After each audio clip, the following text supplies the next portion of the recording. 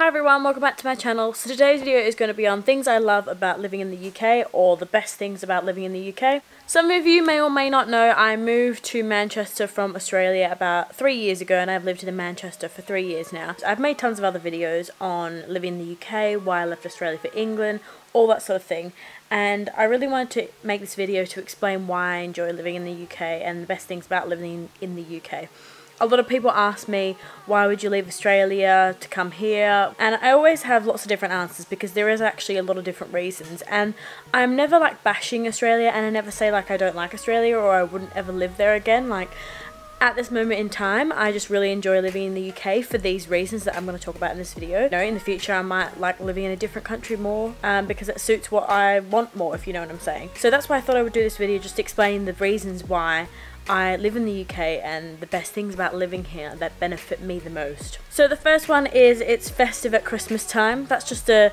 a little thing I really enjoy about um, living in England. This is not really a deal breaker or anything like that, but um, obviously coming from Australia, we are so used to it just being warm and it not really being super festive at Christmas time. I never really grew up with it being super festive.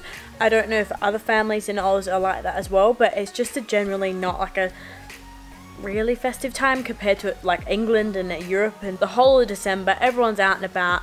Everyone's out drinking having a good time. It's just a whole different vibe to what I'm used to in Australia. And I just really enjoy that. And when I first came over here everyone was like oh my god how could you have a hot Christmas? And I was always like well that's all I've ever known. So I enjoy that. But now I really understand. Number two is along with Christmassy winter time. There's prominent seasons in England. I just really enjoy spring, autumn, summer, winter, and it's like quite obvious in a way. Like, you know, it can snow in winter, it's freezing in winter, which obviously isn't the greatest, but you know, that's winter. It can be super beautiful and orangey and red when it comes to autumn like the colors are just amazing you know we have a little bit of a summer here as well and you know spring is really pretty as well like all the seasons are just like really pretty. But I feel like now I've really experienced like proper seasons, whereas in Perth it's just warm a lot of the time. Yeah, we get spring, we get pretty flowers and stuff like that. And you know, when it is winter, it does rain a lot and it's cold, but it's not really like doesn't stand out as much as it does in England. And now I feel like my favourite season is autumn because autumn, uh, England in autumn and Europe in autumn is just amazing, just such a pretty time of the year. Number three, there so many places to discover that are only like a few hours drive away or not even that, 30 minutes drive away. Probably more so because I haven't explored a lot of England, I guess, because I'm new to the country.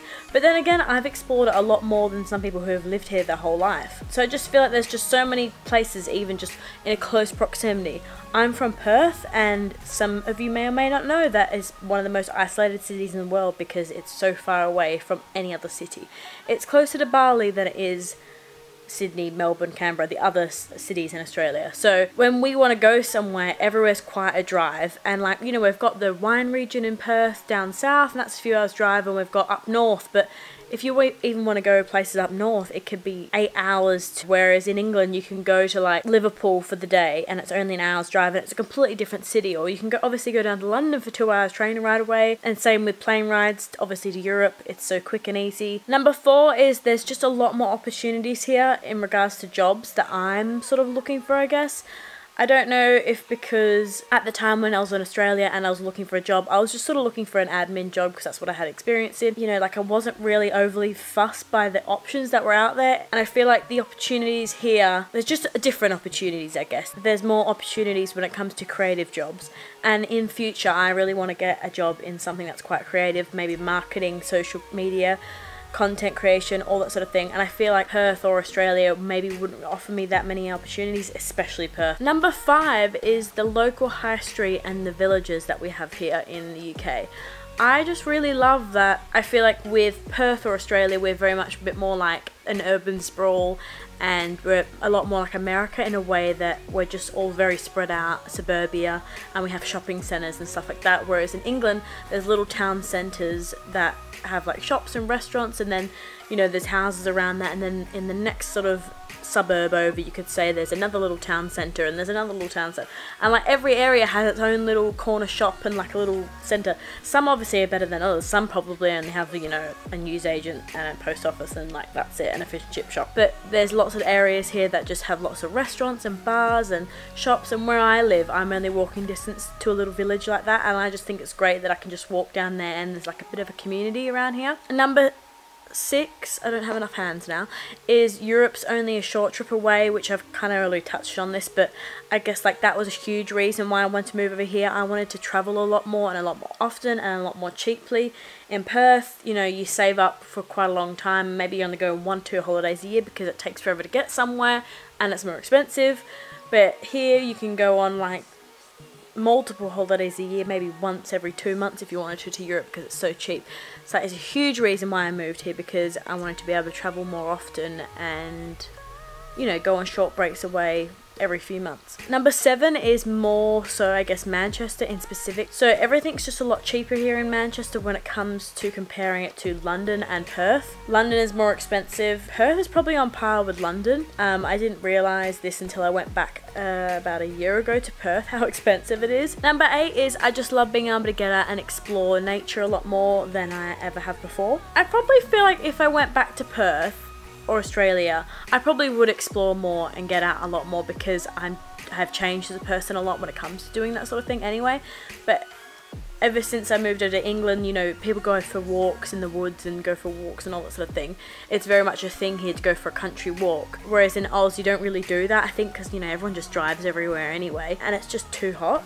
Like, you wouldn't want to go out for a walk because you'd be out in the hot sun and it's just a bit unbearable. Joel and I, when we went to Oz, last time, my dad lives only 10 minute walk from McDonald's, so we're like, oh yeah, we'll pop down there, get an ice cream. And when we got back, we were dying because we were just sweating, because it was just like, that's not a leisurely nice walk. We've we've come back and now we're just dripping in sweat and we have to have a shower when we got back home because it was just too unpleasant. Like you might as well just drive. so I feel like I love how it's made me get out more and explore and get out in nature more. Number nine is the public transport's quite good here. Um, a lot of people complain about the Metrolink in Manchester, how it's shit, but coming from Perth, we have trains which are pretty which are pretty much like the Metrolink here, like light rail.